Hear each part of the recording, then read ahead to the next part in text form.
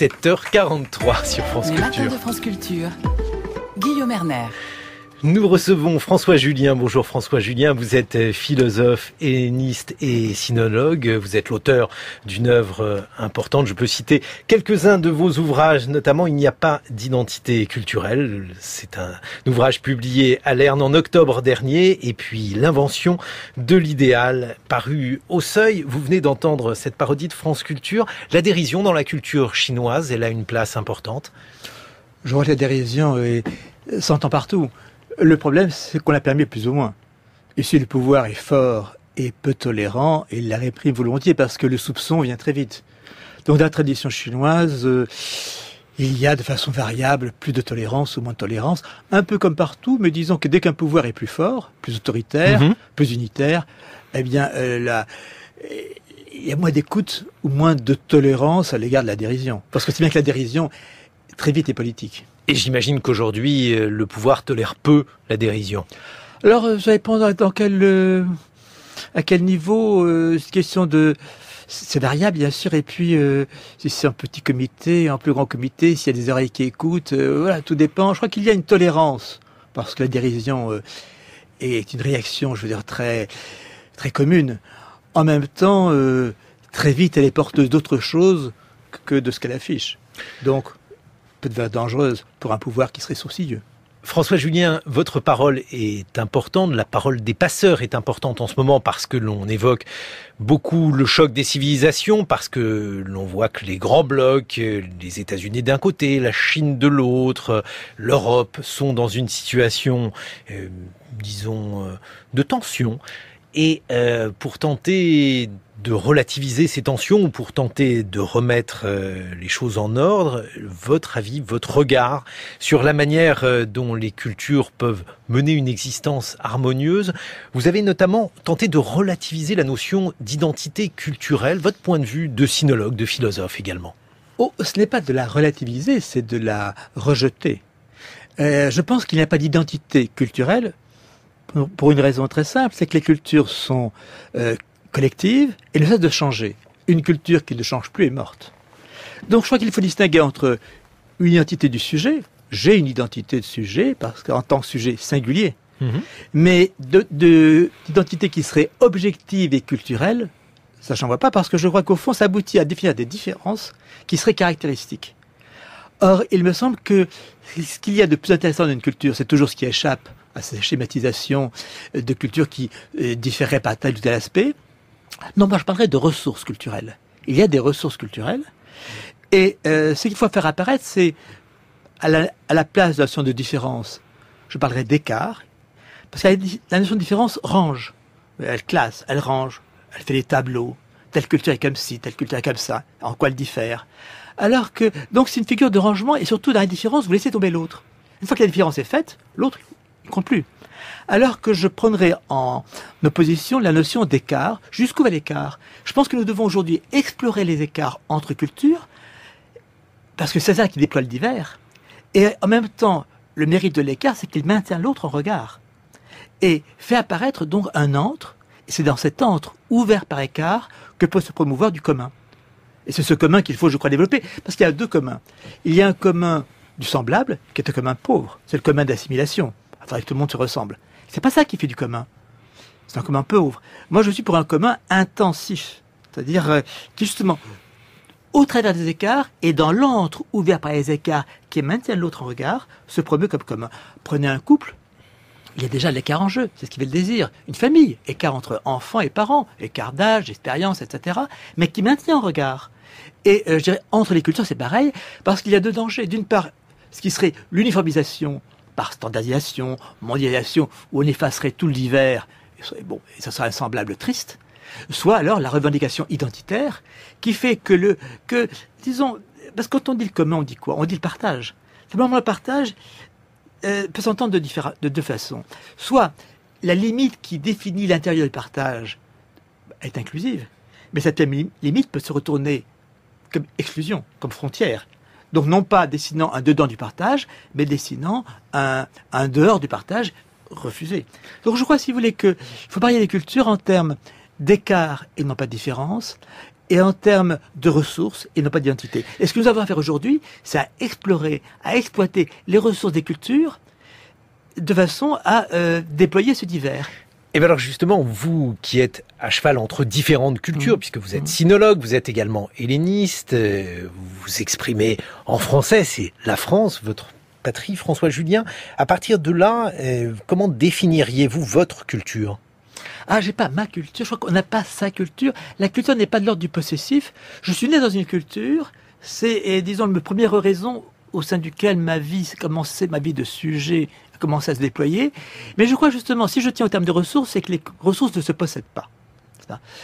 À différence de ce qui serait des biens ou des richesses culturelles. Euh, non, les ressources, c'est à qui les exploite à qui les explore et à qui les exploite. Donc moi, j'ai passé euh, mon enfance dans une culture qui est celle de la langue française, et à laquelle je suis très attaché parce qu'elle est effectivement féconde. Et puis j'ai rajouté à cela euh, diverses autres cultures, dont la chinoise, comme vous l'avez dit. Mais les ressources, justement, elles sont au pluriel des ressources et elles ne s'excluent pas, à la différence des valeurs qui peuvent s'exclure, qui souvent s'excluent. Les ressources, plus on en a, plus ben, notre horizon culturel s'est élargi, s'est déployé. Donc ressources, si vous c'est un terme qui n'est pas, qui n'est pas antagoniste, qui n'est pas exclusif. Et moi, je me suis pas cynisé je me suis intéressé depuis des dizaines d'années à l'économie chinoise. Je ne me suis pas pour autant converti, cynisé. Donc je vois que la ressource, c'est un déploiement d'intelligence. Et plus notre intelligence traverse d'intelligibilités diverses, plus elle se déploie. Quelles sont justement les, les intelligibilités offertes par les langues, en l'occurrence le chinois, le français? Parler en chinois, parler en français, qu'est-ce que ça découpe dans le réel? Ah oui, c'est, je crois qu'il faut partir de la langue, vous avez raison, parce que euh, nos ressources culturelles sont d'abord dans la langue. C'est et, effectivement, c'est pour que je suis devenu sinologue, parce que une langue comme le chinois, qui ne décline pas, qui ne conjugue pas, conjuguer, c'est-à-dire distinguer entre du passé, du présent, du futur, et des modalités diverses, qui ne conjugue pas, donc qui ne distingue pas entre voix active et voix passive, mhm. qui ne distingue pas entre eh bien, ce qui sera un subjonctif et un indicatif. Vous voyez toutes sortes de distinctions que nous faisons, qui sont des distinctions logiques, et qui sont la ressource de la langue française dans sa précision en termes de modalité, euh, eh bien, euh, n'existe pas du côté chinois, qui par ailleurs a d'autres ressources, qui sont justement, si vous parlez, donc si la langue n'a pas de conjugaison, c'est comme un infinitif. Donc vous êtes dans une dans une dimension qui est beaucoup plus processuelle. Et c'est ce qu'a développé la pensée chinoise. Euh, alors que si vous parlez en français, vous découpez entre du passé, du présent, du futur. Alors en chinois, vous pouvez marquer un passé ou un futur, mais pas par euh, désinence, pas par suffixe. Et couramment, la forme ne se conjuguant pas, vous êtes hors de cette dissociation, comme entre passif et actif. Je dis je suis aimé ou j'aime, n'est-ce pas, l'un ou l'autre, passif-actif. Bien, le chinois ne le fait pas, et donc on entend beaucoup plus le processuel des choses, le situationnel. Donc il y a ressources de part et d'autre, et c'est de les mettre en vis-à-vis qui fait apparaître ces ressources respectives. C'est pour ça qu'il est important de les explorer, parce qu'on ne mesure on apprécie ou on se rend compte des ressources d'une culture qu'au regard de l'autre. C'est donc dans le miroir de l'autre, il faut donc les penser les cultures dans, comme pouvant se réfléchir l'une à travers l'autre. Et l'écriture? Bah, encore plus, je dirais, encore plus, enfin, en tout cas par rapport au chinois, puisqu'il y a deux types d'écriture, l'écriture des types phonétiques, comme en français, comme la majorité des écritures dans le monde, et puis l'écriture idéographique. Il y en a eu d'autres que le chinois, mais seul le chinois l'est resté. Et l'écriture idéographique, effectivement, déploie d'autres ressources, notamment par rapport au tracé, euh, que l'écriture phonétique. Donc, parler en termes de ressources n'établit pas une hiérarchie de valeurs, mais montre comment l'humain ne cesse de se, à la fois de chercher de l'homogénéisation et en même temps de l'hétérogénéisation. Et au fond, c'est notre histoire. C'est pas d'abord une culture unitaire, puis après des cultures diverses qui seraient comme une sorte l'éventail qu'on ouvrirait je crois que le culturel ne cesse de chercher à s'homogénéiser, donc aussi à devenir culture dominante, et à s'hétérogénéiser, aussi devenir culture bah, dissidente. Et c'est cette tension-là entre l'unitaire et le pluriel qui fait que la culture est en tension, donc en activité. Le sinologue Simon Leys disait que Mao avait fait également beaucoup de mal à la langue, beaucoup de mal à l'écriture mmh. chinoise. Vous avez mmh. vu au travers de vos différents séjours euh, en Chine, à Pékin par exemple, vous avez vu les dégâts qu'a fait Mao ah bah, sur la langue et l'évolution du chinois alors, il faut quand même être juste. Euh, c'est-à-dire que euh, la Chine communiste a répandu l'apprentissage du chinois euh, de façon élémentaire. Il ne faut pas toujours chercher en noir et blanc mmh. l'histoire parce qu'elle n'est pas comme ça. Donc, il y a, si vous voulez, cette, euh, euh, la diffusion d'un dialecte, celui de Pékin, qui s'est répandu dans le pays, et un effort considérable, euh, disons, je ne dirais pas d'alphabétisation parce qu'il n'y a pas d'alphabet, mais disons d'apprentissage généralisé du chinois. Bon, ça c'est une chose positive. Alors il y a autre chose qui est la simplification de, de l'écriture. Alors la simplifier un peu était peut-être utile, la simplifier trop produit des signes inconsistants. Moi, je veux dire, je me retrouve plus tellement c'est simplifié aujourd'hui. À Taïwan, vous savez qu'on a gardé l'écriture euh, classique, euh, traditionnelle. Euh, alors, ce qui a tout changé maintenant, c'est l'ordinateur. Puisque, au point que peut-être que les Chinois aujourd'hui apprennent plus tellement à écrire parce que l'ordinateur fait travail pour eux. Et je ne sais pas si l'écriture chinoise, dont Mao avait décidé qu'elle serait supprimée. Vous savez que c'était une des propositions, de, enfin une proposition il était peu homme à proposer, il était plutôt homme à imposer, mais qui était de penser que c'était que l'écriture idéographique chinoise serait un frein pour entrer dans la modernité. En fait, elle s'est maintenue. Euh, donc, une décision idéologique n'a pas abouti à cette suppression. Je me demande si une commodité technologique ne la menace pas, pas plus. Et si, si vous voulez, l'ordinateur aujourd'hui, par sa commodité, le fait que les textos, on les fait en fait en transcription latine, hein, en pinine, euh, sans qu'il ait plus vraiment besoin de passer à l'idéographie, euh, si c'est pas ce qui va faire que les enfants chinois apprendront, apprendront de moins en moins à tracer euh, n'est-ce pas? Et donc, ça serait là, à mon sens, une perte de ressources. Et alors, François Julien, est-ce que vous êtes inquiet sur l'avenir de votre langue maternelle, sur le français? Oui, je crois, enfin, euh, je crois que d'abord les cultures sont dans des rapports de force. Parce qu'on pense souvent le culturel comme ce qui nous sortirait du rapport de force, comme cette sorte de surplus qui serait euh, plus amène. Non, je pense que les cultures sont des rapports de force, et la langue française, qui a eu son heure de gloire, euh, euh, aujourd'hui est en, est en retrait, c'est évident. Alors je crois que c'est notre responsabilité. Moi, je ne suis pas quelqu'un qui défend la langue française. Je suis quelqu'un qui défend la pluralité des langues, notamment en Europe, parce que c'est ça qui a fait l'Europe. Donc je défends aussi bien l'allemand, l'italien que le français. Je défends les langues de culture, et qu'est-ce qui fait une langue de culture? C'est une langue qui a été déployée euh, et par des gens qui sont les écrivains. Euh, s'il y avait eu Proust en breton, je serais attaché à la langue bretonne. Euh, bon, mais Proust est en français, et Proust, comme tous les auteurs, les grands auteurs français, ces auteurs ont déployé les ressources de la langue française. Et c'est à ça que je suis attaché. Donc effectivement, je suis militant de la langue française, euh, mais aussi d'autres langues de culture. Et je pense que l'Europe euh, ne sera vraiment active que si elle prend vraiment en considération cette responsabilité de diversité des langues, c'est-à-dire qu'elle ne cède pas une sorte euh, d'oglobiche facile. Et l'Europe ne sera que si c'est une Europe des langues de culture. Et parmi les langues de culture, il y a aussi le grec ancien, hmm. le fait que celui-ci ait été euh, combattu dans les collèges et les lycées, que maintenant on, explique qu'il va revenir, j'imagine que ça vous réjouit. Ah à quoi ça sert d'étudier ah le oui, grec ça me tout à fait. Je suis militant de cette cause-là, du latin et du grec, parce qu'il faut voir les choses dans l'histoire. C'est vrai que le latin et le grec étaient liés à une certaine forme de lycée classique, bourgeois, bon, 19e siècle. Donc élitiste aux sciences sociales. Ça, c'est fini, et c'est une bonne chose. Mais de là à dire qu'il n'y a plus de ressources culturelles dans l'alpin et le grec, pas du tout. Au contraire, ce sont des apprentissages qui sont relativement courts et qui ouvrent des horizons immenses. Et qui surtout nous font apparaître notre langue dans une histoire et qui font apparaître le fait que justement, nous sommes polylinguistes. Et le latin et le grec qu'on enseigne depuis des millénaires et qu'on sait enseigner permettent dans des temps courts, d'avoir l'accès à des modes de pensée euh, qui sont extrêmement riches. Donc je pense que c'est très économique que d'apprendre le latin et le grec aujourd'hui, et qu'il faut effectivement revenir sur cette décision politique, idéologique, stupide, euh, disons qui était de facilité euh, récente, pour remettre le latin et le grec dans l'enseignement des lycées français, pas seulement les lycées classiques, pas seulement dans les quartiers bourgeois, mais disons là où la jeunesse doit se former. Vous nous avez expliqué en quoi le chinois parlait différemment le monde comprendre le grec ancien, et François Julien, qu'est-ce que ça vous a permis de comprendre, de lire? D'abord, c'est une autre langue et une langue sous notre langue. Donc, euh, avec une proximité et une distance qui font que justement la langue, notre langue se met en tension dans cet écart des deux langues et l'entre qui s'ouvre entre eux. Et puis, euh, la possibilité de lire euh, très vite des textes qui, à la fois dont nous sommes hérités, comme on dit de façon trop commode. Moi, je suis passé par la Chine justement pour mesurer cet héritage grec. Mhm. Parce que que sait-on de cet héritage tant qu'on n'en est pas sorti hein.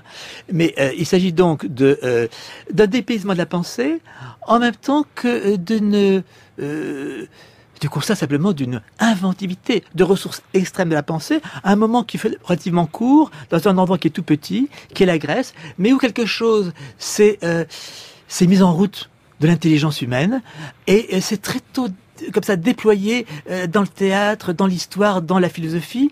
C'est un moment qui est un moment crucial. Et euh, le retrouver non pas pour euh, se ressourcer, non pas pour, mais parce que quelque chose d'intelligent s'est déclaré là, dont il ne faudrait pas perdre la trace et qu'il faut réactiver.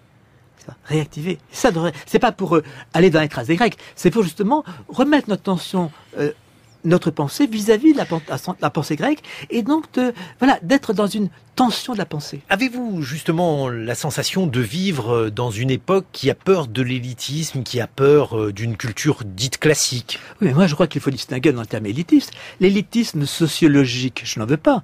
Mais l'élitisme intellectuel, j'en veux bien parce que c'est comme ça qu'il y a un effort de la pensée. Vous savez, tous les livres sont pas équivalents.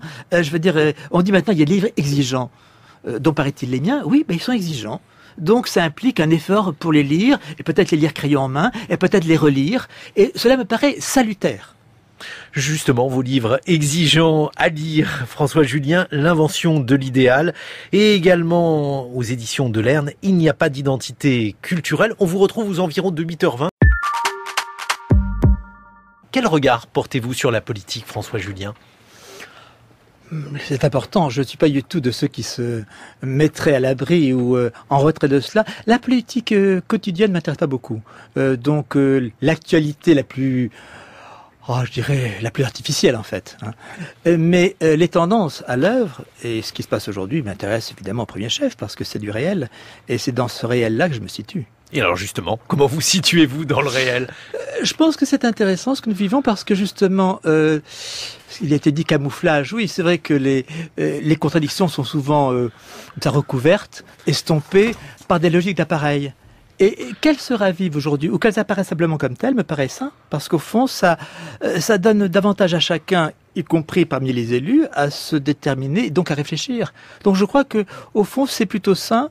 Alors peut-être que ça compliquera la tâche politique ultérieurement, mais euh, disons que les questions apparaissent comme telles, et euh, que les réponses ne soient pas données tout de suite, et que les, les positions ne soient pas comme ça imposée ou héritée, mais qu'elle s'élabore euh, en cours d'évolution de la situation me paraît plutôt une bonne chose. L'un des mots marquants de cette campagne présidentielle et de ces législatives a été le mot renouvellement. Il y a une sorte d'appétit du nouveau et une sorte de valorisation du nouveau. Qu'en pensez-vous? Bah, Je pense qu'en politique, c'est une bonne chose, oui, parce qu'au fond, c'est ce qui m'intéresse, c'est en, quoi euh, la situation actuelle peut être porteuse de, de, de nouveautés. Donc ce que ça s'appelle une répétition de l'histoire alitaire, c'est c'est toujours la même chose qui revient. Non, je pense que l'histoire, c'est ça, justement. C'est l'intérêt pour ce qui peut advenir de nouveau et qu'on n'attend pas souvent. Donc, ce, qu'est-ce qui travaille dans l'histoire? C'est ça qui me paraît intéressant. Et donc, un moment comme celui-ci le laisse mieux apparaître. Parce que des logiques euh, impliquées d'avance ou, déjà euh, euh, ficelées, convenues, ne jouent plus de la même façon. Donc je pense que c'est intéressant. Et mon souci, c'est d'être attentif à ce qui peut venir de nouveau.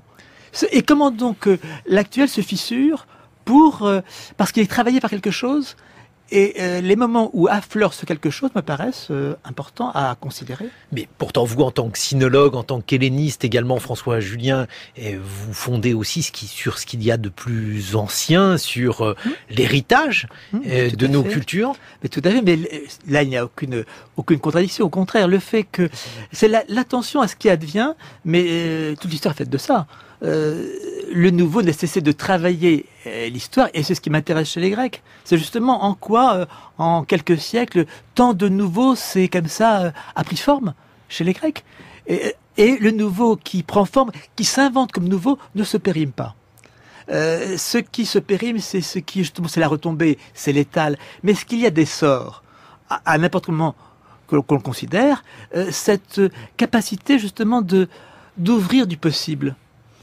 Eh bien, c'est ce qui m'intéresse chez les Grecs. On a parlé de ressources culturelles, d'identité, de civilisation. La notion d'Europe, par exemple Pour moi, elle est capitale. Et je crois qu'on est à un moment, effectivement, aujourd'hui, décisif. parce que il y avait deux discours. D'une part, le discours, la belle idée européenne, c'est beau l'Europe, et d'autre part, cette sorte de euh, pragmatisme, non, même pas le pragmatisme, de, de cynisme ou de, qui était de, de le continuel marchandage d'intérêts. Mhm. Et entre les deux, rien, n'est-ce pas? Et l'un recouvrait l'autre. Je pense qu'aujourd'hui, l'Europe est mise devant euh, un choix essentiel qui est soit l'avant, soit le recul. Et elle ne peut. Euh, il faut donc qu'elle avance, à mon sens. Et pour avancer, la première chose à faire, c'est repenser quelles sont les ressources de l'Europe. Mais ce qui m'intéresse de plus dans mon travail, de plus en plus, c'est qu'il y a des termes européens. Par le terme idéal, c'est un terme européen. C'est le même terme dans toutes les langues d'Europe. On le prononce comme on veut, mais c'est le même terme, pas? Euh, Un terme comme paysage, euh, tout, ces, tout, tout, ce vocabulaire euh, qui est un vocabulaire, en fait, c'est ça qui fait l'Europe. Il y a une Europe théorique qui est d'abord, on a parlé de la langue tout à Mhm. l'heure, c'est qu'il y a une langue européenne. Et alors, euh, le fait que le mot idéal soit commun, Mhm. qu'est-ce que bah, ça signifie pour vous? Bah, justement, c'est essentiel parce que qu'est-ce que l'idéal? C'est quelque chose qui, à la fois, euh, s'abstrait et décolle de la réalité la plus immédiate, ou ce qu'on appelle l'expérience, et en même temps est objet de désir. Oui, c'est de l'idéal, mais comme dit Platon, branché sur Eros, sur les désirs. Donc l'idéal, c'est une figure très forte, et très forte dans l'histoire. Puisque c'est une idéalité, oui, alors peut-être c'est abstrait, c'est loin, etc. Non, parce que c'est branché sur notre désir, sur Eros, donc le désir le plus, le, plus inscrit, le plus, le plus ancré.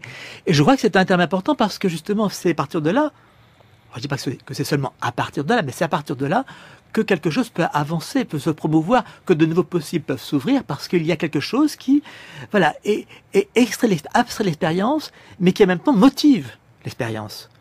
Et, et là, il y a quelque chose qui, dans l'idée traditionnelle de révolution, mais qui, dans le domaine de l'art, qui, dans le domaine de la vie euh, personnelle, est essentiel, parce que ça signifie que je ne suis pas seulement pris dans mon expérience, mais qu'il y a une certaine figuration qui, extraite, abstraite, détachée de l'expérience, peut motiver cette expérience. Je crois que c'est un terme important. Et si, si vous sortez d'Europe, ce terme disparaît. Euh, pour traduire idéal en chinois, on l'a traduit, mais on l'a traduit à contresens, sans garder cette dimension d'abstraction, de détachement idéal. Donc je crois que, et je ne dis pas ça contre d'autres Mhm. cultures, bien sûr, mais je pense qu'il y a une ressource de la culture européenne à avoir pensé, à avoir pensé dans toutes les langues diverses, y même le, euh, le hongrois, qui n'est pas une langue indo-européenne, connaît ce terme. Donc c'est bien qu'il y a quelque chose euh, euh, d'une cohérence de l'idéalité qui a promu l'Europe et euh, dont il faut aujourd'hui réenvisager la ressource pour ne pas la laisser tomber. Il y a une ressource culturelle venue de l'Asie qui est aujourd'hui très communément utilisée en Occident, en France notamment. Vous me direz si c'est ce que vous appelez une ressource culturelle, puisque c'est le terme que vous préférez à identité culturelle, François Julien. C'est le bouddhisme. Comment expliquez-vous cette vogue du bouddhisme? Est-ce que vous retrouvez, vous, le bouddhisme que vous avez étudié comme sinologue euh, lorsque euh, vous voyez, par exemple, euh, qu'il y a un véritable engouement pour Mm. cette religion, cette philosophie? Alors, vous savez, moi, je ne m'intéresse aux cultures par précaution. D'abord qu'à partir de la langue. Donc, euh, un bouddhisme, euh, bon, le bouddhisme vient d'Inde, mais c'est vrai qu'il s'est implanté largement en Chine, en Chine, en Corée, au Japon. Bref, euh, j'ai lu effectivement des textes chinois de cette tradition bouddhique, et, et surtout la tradition qu'on dit Chanzen en japonais, c'est-à-dire ces textes courts, aphoristiques, qui bon, font prendre conscience. Bon, là, il y a une ressource de pensée, c'est évident. Euh, alors évidemment, le problème c'est la rencontre de ça avec l'idéologie Euh, et l'idéologie euh, souvent de, du manque qui réutilise des éléments divers. Vous voyez le soyez zen, c'est une stupidité. Pourquoi? Parce que euh, on voit sur les affiches de métro, ça met zen à l'impératif. Or le zen c'est justement quelque chose qui ne se met pas à l'impératif. C'est pas une morale de pays fatigué et qui va emprunter une sorte d'idéologie comme ça de la sérénité à bon marché. C'est pas ça du tout. Hein. Donc si vous voulez. Moi, je n'ai rien contre euh, les, ces expressions-là, mais euh, je, je crois qu'il y a une certaine parfois, euh, c'est pas tant de l'inconnaissance qu'une certaine parfois de, de, de facilité, là encore, à, parce que c'est loin penser que ça peut être une solution. Non, je pense que les solutions, elles sont toujours d'ici. Euh, il faut éviter les fantasmes culturels. Il faut éviter de prendre quelque chose qu'on connaît mal pour, euh, disons, le paradis. Euh, je crois simplement qu'il y a une intelligence dans la tradition bouddhique, très diverse comme elle est, mais qu'il faut la considérer de près. Elle aussi est exigeante, et que ce qu'on en a fait comme ça, idéologiquement euh, du genre soyez zen, par contre c'est de la stupidité. Mais alors justement, si Et ça rejoint zen, quelque chose qui est horrible, qui est le développement personnel, qui est donc cette sorte de euh, marché du bonheur qui prolifère aujourd'hui au détriment d'une pensée intelligente euh, et qui, euh, là aussi par facilité, euh, bah, encombre le marché, oui. Justement, puisque vous avez consacré un livre à la notion de seconde vie, au fait d'avoir une Mhm. seconde vie, Mhm. et pour dessiner en quelque sorte en creux par rapport à la notion de, de développement personnel, Contre. lorsque justement vous devez vous exprimer par rapport à ça, eh bien, qu'avez-vous à, à dire, euh, non seulement pour aller à l'encontre du développement personnel et euh, de ce que l'on appelle la pop psychologie, mais aussi pour essayer de faire profiter de vos réflexions en tant que philosophe, en tant que sinologue, François Julien. Ce que j'appelle seconde vie, c'est au fond ce qui se présente progressivement dans notre vie de ressources qu'on n'envisageait pas précédemment. Donc qu'est-ce qui se décale, se décante progressivement, ce qu'on appelle l'expérience quand on dit un homme d'expérience euh, Qu'est-ce qui se dégage de lucidité progressivement Qui fait que euh, ben, des choix s'ouvrent, euh, puisque ce qu'on appellera rétrospectivement première vie est une vie au fond où tous nos choix ont été quasiment induits. Euh, et c'est seulement en cours de vie que progressivement des, oui, j'appelle ça des ressources, c'est-à-dire euh, quelque chose s'ouvre comme possibilité qu'on ne soupçonnait pas auparavant et qui fait que, bah oui, euh, ça vaut la peine d'avancer dans la vie. Euh, Parce qu'on pourrait. Alors évidemment, il y a des romanciers qui le font pas. Vous voyez Stendhal, euh, une fois que la personne a découvert l'amour, est entrée dans le monde, pof, il l'élimine et, et, et le guillotine. Bon, ça c'est une possibilité. Mais si on vit au-delà de ce premier temps de découverte de la vie, de l'amour, du monde, etc., qu'est-ce qui peut, euh, disons, euh, s'accumuler, ou plutôt se capitaliser, là encore de ressources, se capitaliser, qui fait que on peut commencer euh, à vivre avec plus de lucidité? Alors ce qui m'intéresse là, c'est que d'une part, ça nous vient, on cherche pas la lucidité, on ne la veut pas. Mais cette lucidité qui nous vient, on peut l'assumer. C'est là que ça devient éthique. On peut réformer sa vie parce qu'on est amené à désinvestir certaines choses, à investir ailleurs. Et donc cette capacité de désinvestir, réinvestir, de choisir progressivement sa vie pour penser une liberté, qui n'est pas une liberté métaphysiquement accordée comme ça, Mhm. comme le faisait la philosophie classique, mais une liberté qui se dégage justement de, euh, de ces possibilités qui s'ouvrent progressivement au départ à notre insu, mais qui, si on les perçoit, peuvent être déployées, exploitées. Je tiens à ce terme de ressources, ces ressources donc qui se dégagent en cours de vie. La seconde vie, c'est aussi euh, l'homme face au vieillissement, face euh, Mhm. à ce qu'il peut faire de sa vie dans une Mhm. seconde période, quel que soit d'ailleurs le terme euh, euh, ou le sens que l'on donne à cette seconde période. François Julien. Oui, je pense qu'il y a quelque chose de décisif dans nos existences, c'est quand la mort n'est plus quelque chose qu'on connaît comme ça, euh, expérience vague, comme disait Mhm. Spinoza, mais euh, qu'on la pense comme sa mort. pas? Donc c'est plus euh, la mort des autres, mais quand on commence à réaliser, alors c'est à prendre conscience que effectivement je suis mortel. Et donc ça dessine un présent consistant qui est entre ce moment de la mort que l'on commence à envisager en face et le moment présent. Et là il y a un présent qui s'ouvre la grande question du présent, c'est comment le délimiter, puisque le présent, il passe tout le temps, il, il, il est sans consistance parce que sans extension entre le futur et le passé. Mais justement, là, il se dégage un présent consistant entre ce moment de la mort que je commence effectivement à poser, euh, disons, comme l'horizon de ma vie, de ma vie, et le moment présent.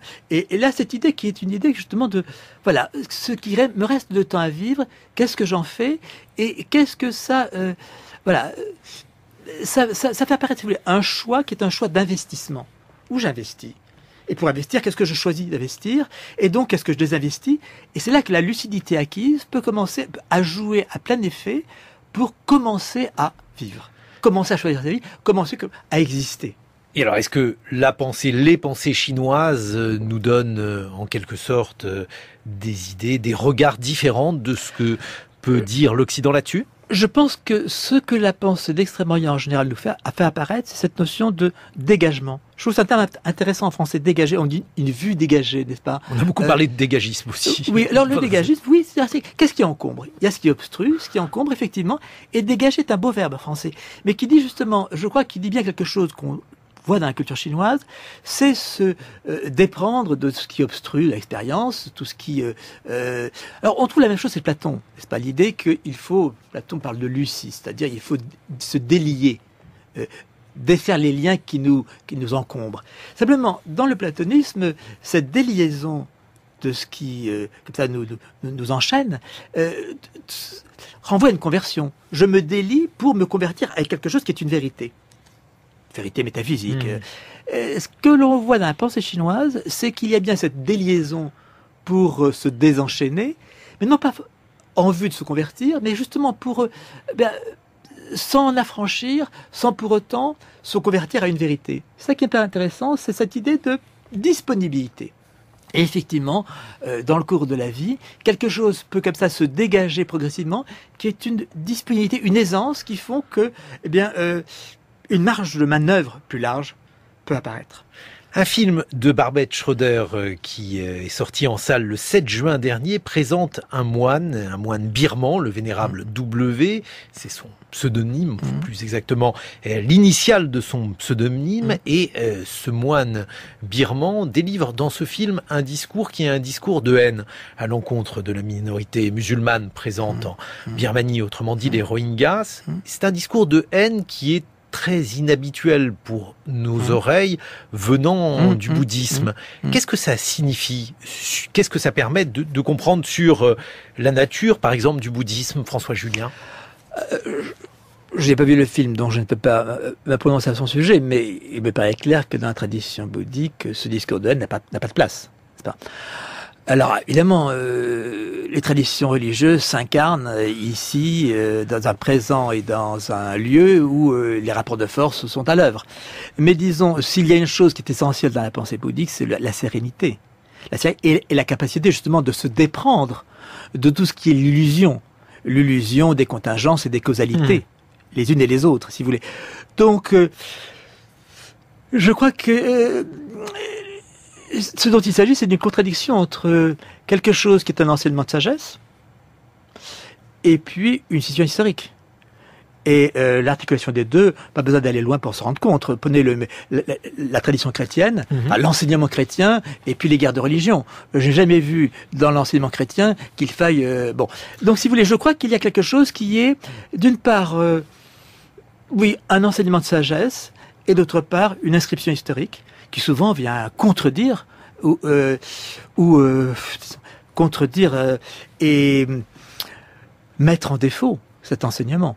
Mais ça veut dire aussi qu'aucune tradition religieuse n'est immunisée contre finalement des tentations de haine?